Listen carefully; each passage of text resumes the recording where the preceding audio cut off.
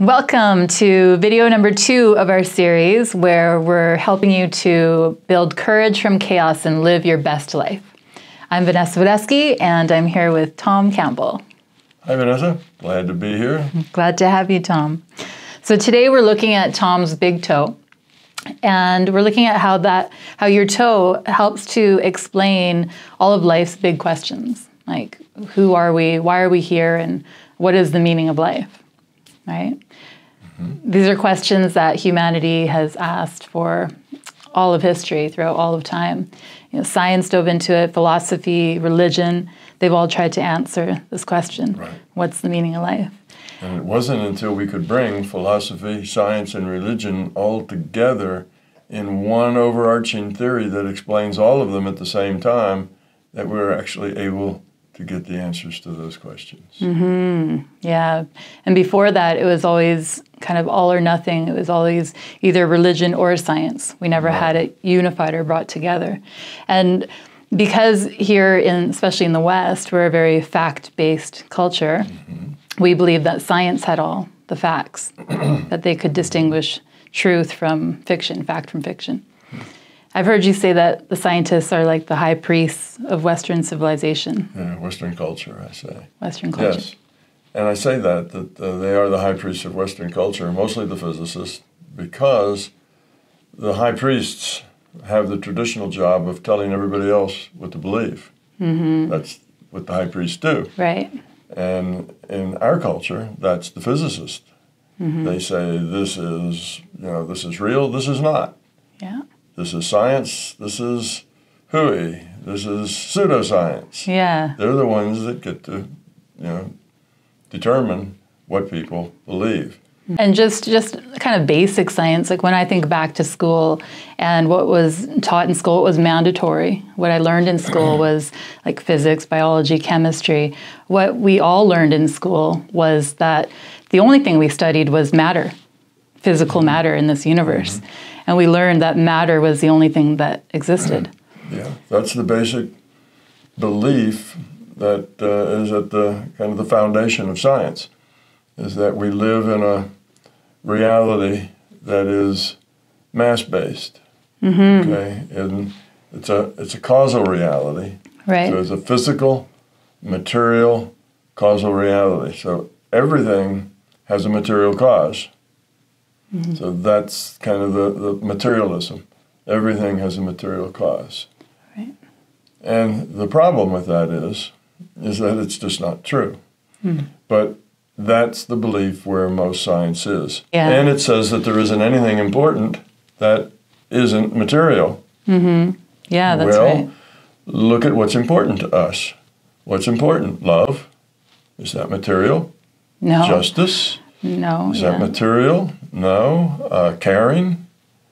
Empathy? Hmm. You see, all of those things that are kind of fundamental is that material. Consciousness is that material. Mm. You say, well, that's called the hard problem. You know, mm-hmm. how does how does consciousness have a material cause? You know, the brain creates consciousness. Mm-hmm. Well, they call that the hard problem because they've been trying to come up with a good explanation how it does that, right. and they've not even made a significant step in that direction because that's not the way it works. Mm-hmm the way it works is that consciousness is fundamental. We discussed that a little in the last one, and and that uh, everything else is then a derivative of consciousness, mm-hmm. which brings us to the idea that this reality is a subset of consciousness, a virtual reality based on information. Mm-hmm. That consciousness is an information system. Right. And that's it's hard to get there because we are so ingrained in this belief system of materialism. Like we feel we just all we believe is that what we see that's what's real and that's all there mm-hmm. is. There's nothing more to it. Like this has been taught to us since yeah. we arrived in this in yes, this life. That's true.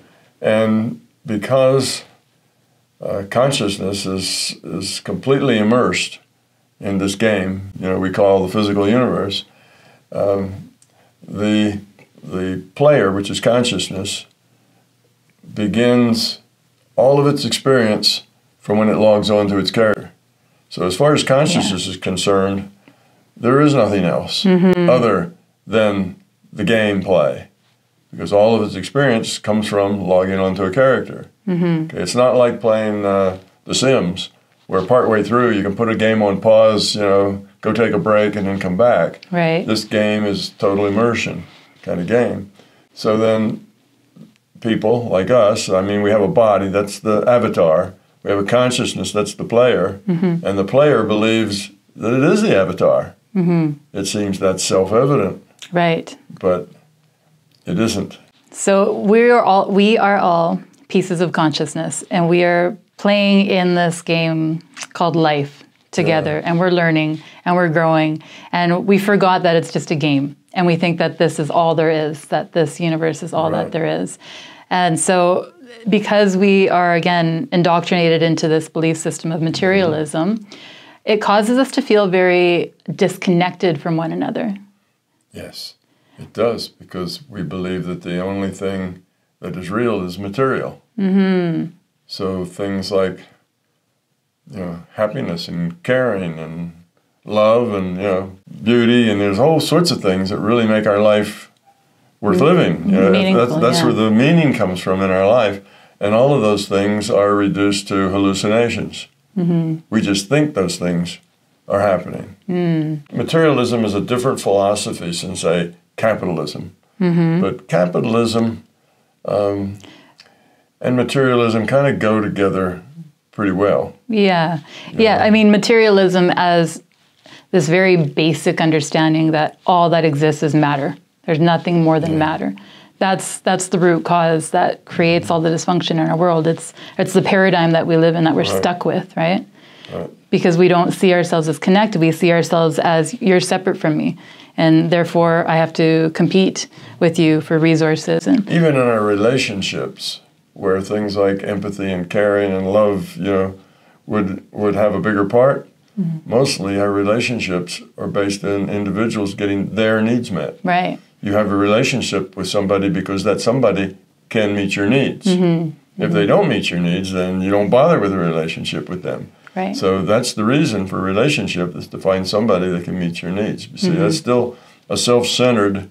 I'm here. I'm trying to get my needs met, and if you meet my needs, then great. Maybe we can have a relationship. And if I meet your needs too at the same time, then we'll get along just fine until our needs change. Hmm. Then there'll be a problem. Mm-hmm. So that kind of an attitude is an attitude that, that turns relationship into a business agreement. yeah, yeah. You know, as That- long as we meet each other's needs, then we're we're a couple. But as soon as we don't, then we really don't have anything to hold us together Right. because it's all self-centered. Mm-hmm. When I stop getting fed what I want, then why should I hang around in this relationship? Exactly. It's very self-centered. Whereas real love is about other. Mm-hmm. What can I do for you? You know, Yeah. How can I help? Yeah. How can I be of service? It's all about me making you happy, mm-hmm. not me getting happy because of you. Yeah.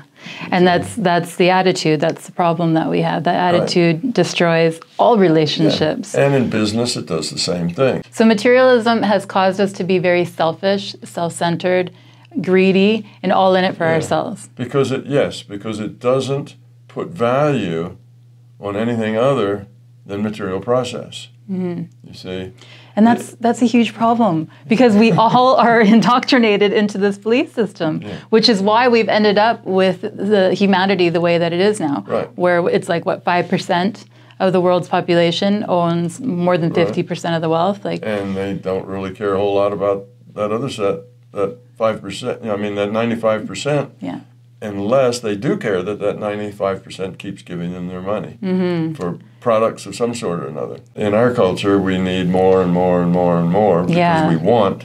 yeah, And that want is often generated by our culture, Mm-hmm. by our advertising, by the people who want us to want their products. yeah, And they use psychological tricks and things to connect to us at a at an unconscious level Mm-hmm. to make us want their products. Yeah. And we, we allow ourselves to be manipulated by because we have these insecurities and fears and this fundamental Right. feeling of I'm not enough, um, I'm I'm disconnected, I'm all alone, I'm isolated, and poor me, because we don't we don't see the big picture. And so again, the, the root cause of all the dysfunction we see in our reality comes down to materialism.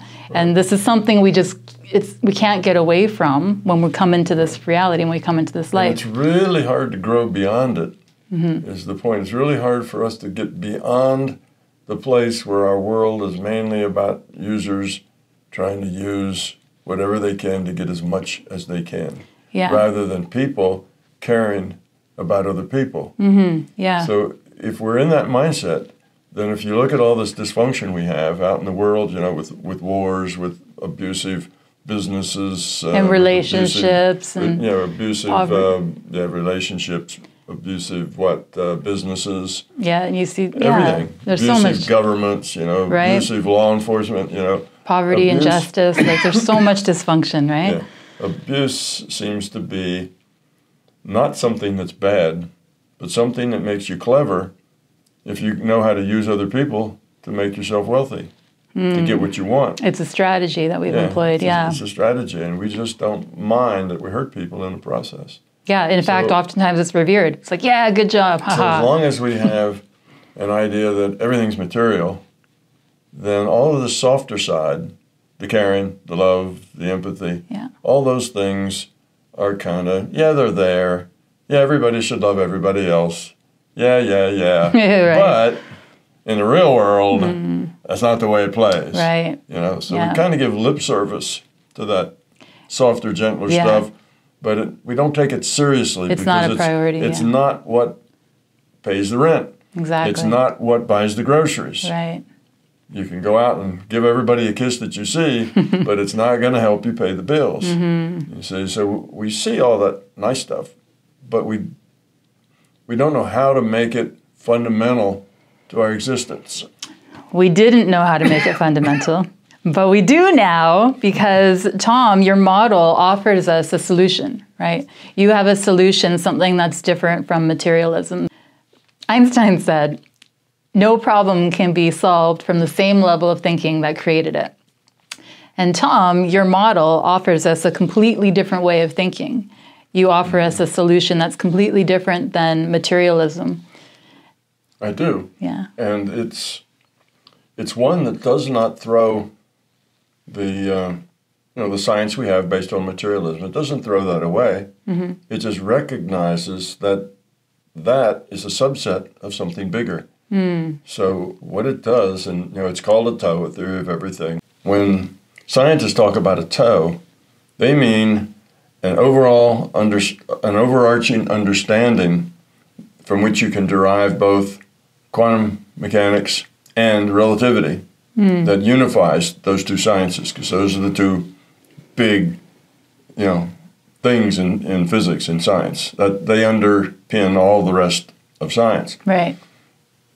mine i call it a big toe because it not only does that it does accomplish that but it also lets you derive individual experience so you can explain quantum mechanics, you can explain relativity, and you can explain personal experience. Okay, so your model offers us a solution, something different than materialism. And rather than, in your model, you say, rather than this being a material based reality, you understand this reality to be an information based reality. Mm-hmm. And the interesting thing is, this isn't actually new because didn't Einstein say, like nearly 100 years ago, that reality is merely an illusion, albeit a very persistent one? He did say that, and many of the um, early founders of quantum physics Yeah. made such statements Right. about uh, consciousness being more fundamental, and consciousness is at the core of our reality. Mm-hmm. That was a, almost a common theme among the you know, Bohr, Heisenberg, Yeah. Um, Schrodinger, mm-hmm. Planck. Yeah. These are all the big the big guns, you Yeah. know, that uh, understood it. And, and Einstein said yes, that consciousness had to be, you know, at the root, at the foundation. Right. Right. But he said he had no idea how to express that in an equation. yeah. So it was intractable. Hmm. And that's because they didn't understand the concept of virtual reality. right. Had they understood that concept, they would have found the solution to that mystery. Mm. And then weird, weird uh, physics wouldn't be weird. Yeah. Quantum mechanics would be a logical science, not a weird science. So for nearly for nearly hundred years now, physicists knew that the materialist model was flawed, but they didn't have they didn't have a model. They didn't have the understanding to explain what was fundamental, what was real. Yeah, about a, yeah, 100 years ago, it makes it the, the 1920s. And in the 1920s is when quantum mechanics uh, evolved. And they did know that uh, this reality was not materialistic. So back then they they saw that okay, well this is flawed because of what's happening. This Yeah, phenomena doesn't- doesn't doesn't work. It's not consistent. Right. But and they, they, didn't have anything, like you say, to replace it with. right. So, yes, you had all these people saying, wow, we're on the verge of a great new discovery about the Hmm. Nature of reality. yeah. But, But what is it though? but, but, but, but, you know, and there wasn't Yeah. anything else to say after the but. Yeah. Other than like Einstein said, well, seems like consciousness in there someplace, but, you know, everybody got to the word but and then dot, dot, dot, couldn't say anything else. Yeah. Because at that time in the 1920s, virtual reality was not yet a concept, Mm-hmm, not even a dream. Yeah. It wasn't anywhere near actualizing as a reality in the 1920s. Yeah. They didn't Computers understand. didn't exist, Right. much less a computer computing a, a virtual reality. So those concepts weren't there. Right. And without that concept, they couldn't take the next step. They couldn't explain it. They just knew it was there, and that's why they finally gave up and said, "Oh, it's just weird science. yeah. Nobody will ever understand Yeah. it. It's just so weird." It's spooky. We don't get it. Right. So, yeah. that was the problem. They didn't know how to take the next step. Today we live in the information age. Mm-hmm. And we have the concepts that will help us to take that next leap Mm-hmm. forward so we can make this paradigm shift. So I'm excited for next week where we're going to jump into your model and look at how it works, um, as well as understand how we will all benefit from it individually and together collectively as a whole. So make sure to join us next week. Thank you, Tom, and thank you all.